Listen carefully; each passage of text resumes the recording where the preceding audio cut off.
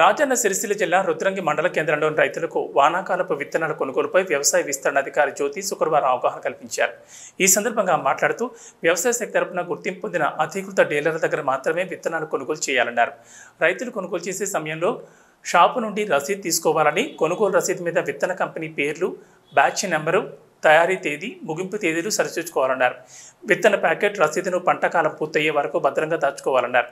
నకిలీ విత్తనాలు తీసుకుని రైతులు మోసపోవద్దని అన్నారు. ఈ కార్యక్రమంలో గ్రామ రైతులు ఉన్నారు